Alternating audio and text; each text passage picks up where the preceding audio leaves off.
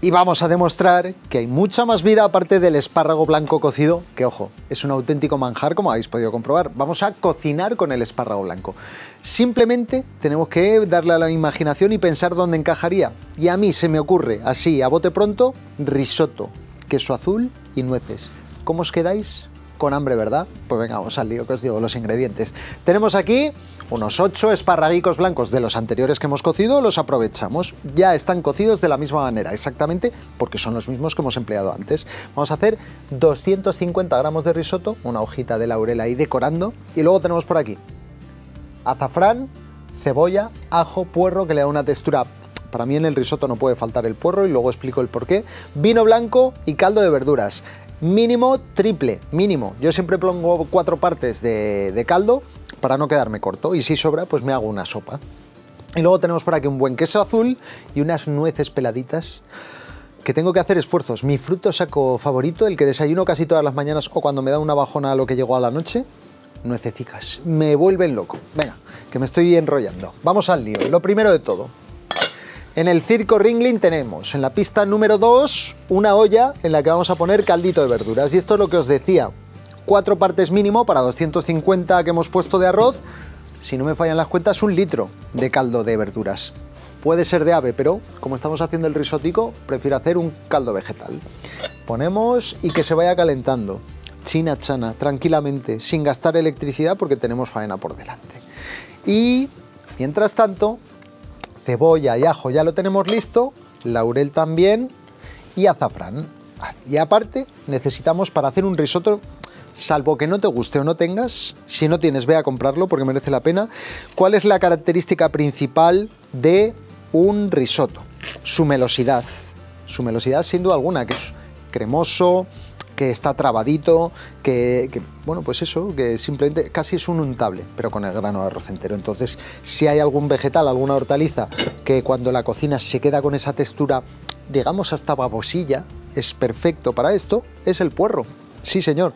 El puerro, ¿sabéis esta leyenda que dice que a una paella, porque si no, no queda, no queda suelta, y es cierto, queda menos suelta, pero para mí eso no es un drama. Pero bueno, no se le puede poner cebolla, porque la cebolla hace que quede menos suelto el arroz, ¿correcto? Es de acuerdo. Si quieres que quede lo más suelto posible, es cierto. Pues para mí lo que no se le podría poner, si quieres que quede suelto, de ninguna de las maneras es puerro. Eso sí que va a hacer que el arroz te quede cremosito, cremosito. Pero eso es precisamente lo que estamos buscando en esta elaboración. Así que cogemos medio puerro, esto es una barbaridad de puerro lo que estoy picando, pero me he venido arriba con, con mi defensa a favor del puerro en todos los arroces y me he puesto a picarlo entero, no pasa nada. Cogemos esta parte de aquí, medio puerro, medio puerrazo, que es lo que es esto, y nos vamos al lío. Aceite de oliva virgen extra.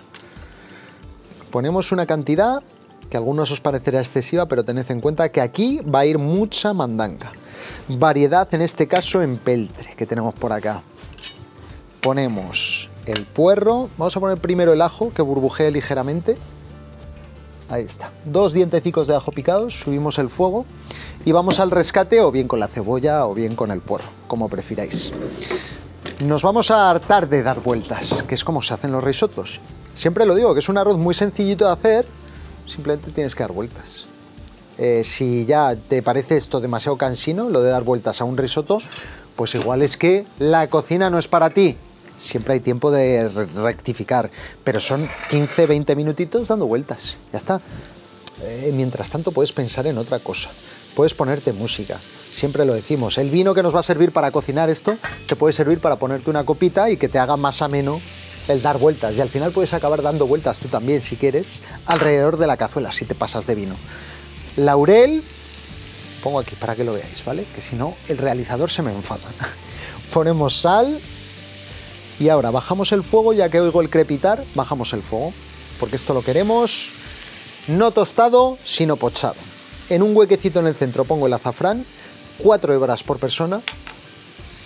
Nuestro productor aquí las ha estado contando una a una y ha sacado 16 hebras porque esto es para 4 personas. Así que 4 por 4, 16. Contamos hasta 5 y mezclamos ya.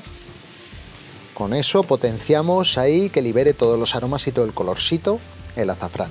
Volvemos a subir el fuego un poco. Venga, ahora ya que el azafrán está mezclado con todo, no tenemos problema. Vamos a acelerar un poco el proceso de pochado, que ya sabéis que es algo que nos gusta. Cogemos vinico blanco vamos a poner no todo, pero sí la mitad. El fuego está sandunguero, recordadlo. Recogemos, mira, esto da mucha rabia. Luego a veces cuando veo el programa por, por la tele digo, ah, me he dejado ahí un trocito de cebolla que si luego se requemará. Pues eso, cuando lo veáis avisadme. Pero de vez en cuando, si, como a mí se me olvida, hay que hacer así y ver si se ha quedado algún trocito en la parte que no ves. Y de esa forma no se queda ningún grano de arroz que luego te salte un empaste, ni ningún trocito de cebolla que se quede requemado. Ponemos la tapadera y dejamos que primero cueza por el líquido, por el vino blanco y una vez que ha evaporado, que se poche y que se quede como una mermelada que seguimos.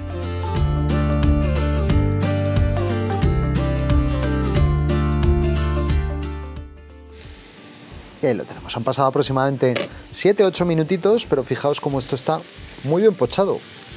Y aquí es donde queríamos llegar.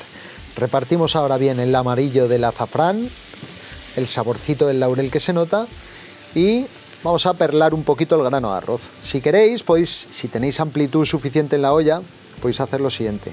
Lleváis a las orillas el sofrito y en el centro ponéis el grano. Damos unas vueltecicas, agregamos un poquito de aceite de oliva virgen extra. Le vamos a poner ya el pellizco de sal que le corresponde al arroz y luego vamos probando. Otra de las cosas buenas que tiene el risotto, a diferencia de la paella, es que en la paella una vez que echas todo, la suerte está echada, incluido la sal. Ya es muy difícil rectificar si no lo haces bien en los primeros dos minutos de cocción. En cambio, en el risotto, mientras haya caldo por absorber, hay esperanza. Y tú puedes probarlo y puedes decir, esto está soso, un poquito de sal. Ve de poco en poco porque a medida que se concentra todo, el sabor de la sal también lo hace. Entonces, ve poquito a poco. Entremezclamos ya, ahora que el grano ha cambiado un poco la tonalidad, entremezclamos sofrito y grano, que se hermanen. Y por acá volvemos a agregar otro chorretón de vino blanco con el que comienza la cocción, amigos. Ritmo trepidante. Ojo, parezco aquí David Guetta, con los mandos, las tres pistas. Damos unas vueltecicas y ahora ya, como en todo buen risotto, lo que vamos a hacer es ir agregando caldo muy caliente, muy caliente, de dos cacitos en dos o de tres en tres, pero poquito a poco. Risotto, arroz maravilloso, es probablemente mi arroz favorito.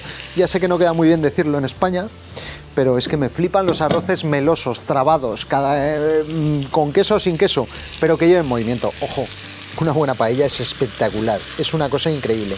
Pero estos arrocicos, a mí por lo menos, me flipan. No sé lo que diré pasado mañana, ¿eh? igual cambio de opinión y te digo, no, prefiero la paella o arroces secos. Por aquí agregamos de momento dos cacitos y luego a medida que pida más, otros dos.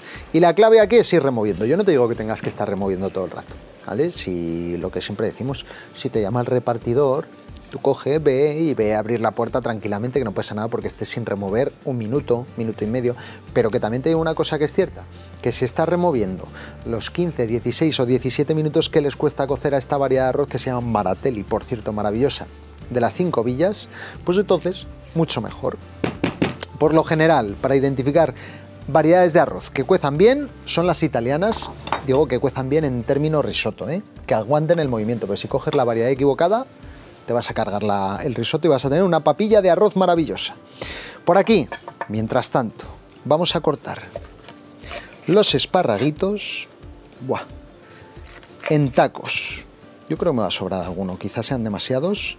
Y vamos a respetar las yemas. De nuevo, a las yemas se les respeta. ¿Por qué? Porque las yemas las pondremos para terminar el arrocico. Así que cortamos en tacos los espárragos, esos que sobran ahí, esos tres. No tengo ni idea de qué va a ocurrir con ellos, os lo prometo. Es una cosa, no sé. ¿eh? Cogemos por acá y respetamos estas yemicas. Perfecto. Y una vez que tenemos esto cortadito, mira, este es el ritmo del risotto. Ritmo, ritmo del risotto, famosísima canción sandunguera, donde las haya. Es ir dándole vueltas de vez en cuando y mirad, solo con la textura del puerro y los movimientos sexys que le estamos dando, ya está cogiendo una textura trabada. Ponemos un poquito más de caldo y continuamos con la cocción. Ahí está. Muy bien, podríamos poner el espárrago aquí, pero pasarían dos cosas. Uno, llegaría muy blandengue, como dice el Fari, al final, o como decía, perdón, como decía el Fari, al final de la cocción y por otra parte le faltaría otro toquecito que a mí me apetece darle y además así aprendéis a comer de otra forma los espárragos blancos. Sartén, aceite de oliva virgen extra, cogemos los tallicos y los vamos a saltear. Si tenéis una brasa y por casualidad habéis hecho brasa, ojo al dato, espárragos blancos. Los cocéis primero, como lo he hecho yo, al dente y luego los apoyáis 3-4 minutitos hasta que se churrusquen ligeramente en una brasa es una de las cosas más ricas que vais a probar en vuestra vida. Palabra de la pera limonera. Ponemos también las yemas, que están bien tiesicas y están bien ricas, y esto que se dore, que se quede bien churruscadito porque irá a parar aquí al final de la cocción. Me quedo por aquí con el ritmo del risotto, dando vueltas hasta que esté perfectamente cocido. Volveremos para ligarlo con queso azul, esparraguitos, un festival. Ritmo, ritmo del risotto.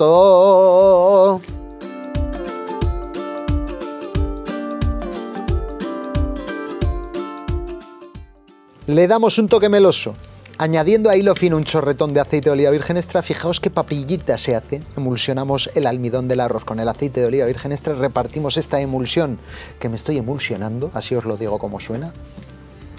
Y le ponemos pimienta negra, a que no adivináis, una vez más. Como si no hubiese un mañana. Golpecico por aquí para que caiga toda la que se queda en el molino, que es un clásico de los clásicos, que luego la apoyas aquí y se pone todo perdido y lo tenemos listo. Antes, a mitad de cocción, lo he probado para ver qué tal estaba de sal. No le faltaba, no le he puesto. Y ahora sí que sí, le damos, convertimos un arroz meloso, que es lo que es ahora, en un risotto. Y lo hacemos con queso azul. Cortamos, tampoco hay que pasarse, porque queremos que sepa el esparraguico, que tenga sabor propio el azafrán, pero es un poco al gusto. Queso azul es fuertote, ya lo sabéis, así que yo moderaría la cantidad, pero cada uno Depende, claro, si es que eres súper fan del queso azul, pues ponle un poquito más. Y lo que me gusta de este queso es que va a fundir parte, pero van a quedar por ahí unos tropezones maravillosos que te encontrarás en la boca. Y eso da mucha gustera. Eso y otras cosas, pero ahora estamos hablando de esto. Cogemos también por aquí. Mirad, qué maravilla. Hemos braseado, hemos dorado, hemos plancheado, o llamadlo como queráis, los esparraguicos blancos. Se multiplica el sabor por 5. O sea, si están buenos cocidos, así ya no te quiero ni contar. Y lo que vamos a hacer es intentar la noble disciplina de pescar tallos sin pescar yemas. A ver, si cae alguna no pasa nada. Pero es que me quiero guardar las yemicas de los espárragos para ponerlas ahí pingadas hacia arriba cuando emplatemos de una forma súper chula. Venga, esta por aquí. Guardamos estas por acá.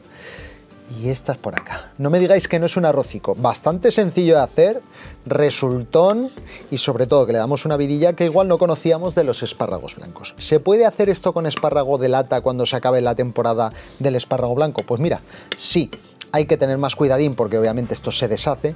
Tendremos que dorarlos no salteándolos como hemos podido hacer con estos, sino poniéndolos planicos, bien secos, unos espárragos blancos buenos de calidad, porque si no se van a hacer un puré, pero también se puede hacer. O sea que si te quieres quitar el mono, mucho mejor con estos, pero los de conserva no es una mala opción, amigos. Removemos esto por acá y ahora a emplatar, que es gerundio. Bueno, es infinitivo, pero da igual, ya me entendéis. Esto por acá, plato, caminito corto, y de forma decidida, mirad qué textura que tiene esto. Espectacular, ¿eh? Mira, mira, como cae poquito a poco, que es la clave de un risotto fluido y no mazacote. Ahora nos vamos a por las yemicas de espárragos. Y para ser finos cogemos las pinzas y lo que os decía, las dejamos así un poco rollo Hellraiser, pingaditas hacia arriba que se note que han estado ahí, que se vean asomar, oye, como si estuviesen creciendo. Qué bonito, qué onírico, qué metafórico. Y los pinchamos tal que así. Unas yemicas. ¿Pongo una en el centro o qué? Sí, que si no me voy a quedar con las ganas. Yemica de espárrago también por aquí. Una vez que tenemos esto, joder, qué plato más maravilloso. Vamos a rematar la jugada con unas nuececitas. Toque crujiente y que le va de maravilla a este risotto. Queso azul, nueces, espárragos. ¿Qué le puede faltar? Pues hecho en falta un verdecito. ¿Por el qué dirán? También. Pero es que mirad cómo le cambia. Un simple verdecito. Es una historia, ¿eh? Un perejilico aquí y no me digas que no ha cambiado el asunto. Receta no, recetón que tenéis que hacer cuanto antes. Un risotto de espárragos blancos espectacular con queso azul y con nueces. Me voy a comer una que llevo todo el programa pensando en esto. Mm.